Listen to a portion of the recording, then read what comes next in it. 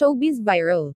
Magkapatid todo iyak matapos ang nangyari sa mahal sa buhay. Paalala lang po ang video na ito ay base lamang sa nakalap na impormasyon at nag-viral na rin sa iba't ibang platform, maging sa social media at Instagram. Parang mas mabilis ngang makahawa ang virus ngayon.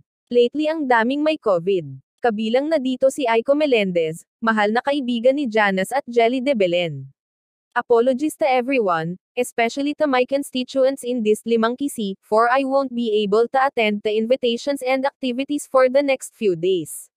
I have just tested positive for COVID today, Thursday, May 11, 2023 and is currently self-quarantining at home.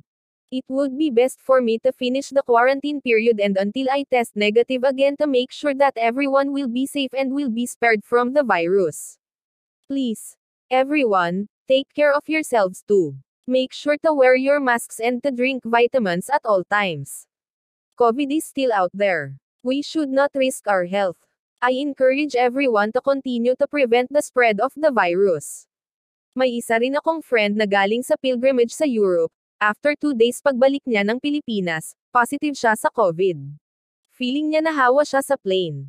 Medyo malakas daw ang tama sa kanya dahil nawalan siya ng panlasa at parang binugbog ang katawan niya sa sakit. At nahihirapan siya sa paghinga.